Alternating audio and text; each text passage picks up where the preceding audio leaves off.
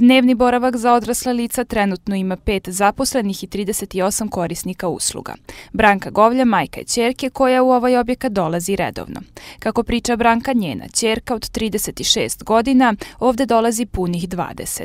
Za osoblje ima samo reči hvale kao i za princip rada sa decom.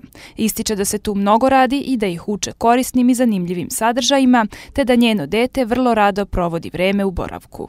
I imaju raznih aktivnosti, rade svašta, sad spremaju tu za novogodišnje praznike, posle spremaju za proleće sadnice, pa onda za uskrs pripremaju, znači koje kakve ukrase koje jeli, prave izložbe, znači stvarno je onako, baš, baš joj je puno srce što dolazi ovdje. I nama roditeljima je drago jer provede kvalitetno vreme, nauči svašta što god treba, što je za život. Grad se trudi da pruži sve uslove za nesmetano funkcionisanje ovog objekta, ističe gradonačelnik Stevan Bakić. Radi se konstantno na tome da se poboljšavaju uslovi i za korisnike i za zaposlene.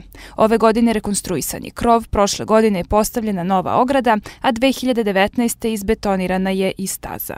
Grad čini sve da kroz razne projekte stvori što bolje uslove za nesmetano njihovo funkcionisanje, jer ovaj objekat je od životne važnosti kako za korisnike, tako i za njihove roditelje, jer su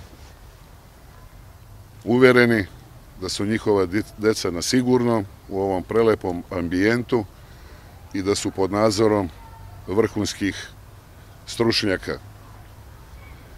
Ono što je i najvažnije, a to je da je grad za funkcionisanje ovog objekta ove godine opredelio 13 miliona i 205 hiljada dinara i da će u budućnosti još više ulagati. Dnevni boravak za odrasla lica je od 2015. godine pod upravom Doma za decu i omladinu ometenu u razvoju Kolevka.